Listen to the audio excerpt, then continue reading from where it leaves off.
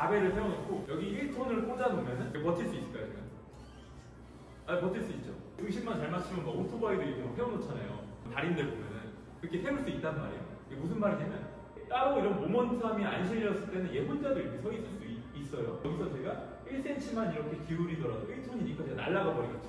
그러니까 스쿼트도 똑같아요. 스쿼트든 뭐 벤치든 다른 것도 이 바벨의 무게를 온전히 내 몸에 이렇게 받아들여야 돼요. 받아들이면서 이렇게 앉아줘야 되는데 그것보다 일단 내가 움직이는 게 거예요. 어디를 더 세게 잡고, 배를 잡고, 뭐 다리를 잡고. 그러려고 하면 어떻게 돼요? 이게 조금씩 어긋나겠죠. 그러면은 이게 이렇게 걸려 있어요. 근데 이거를 내가 보완하려고 힘을 나도 모르게 준단 말이에요. 이때 힘이 엄청 돼. 이것만 알더라도 스쿼트뿐만이 아니라 다른 것들도 다 엄청 가벼워지거든요.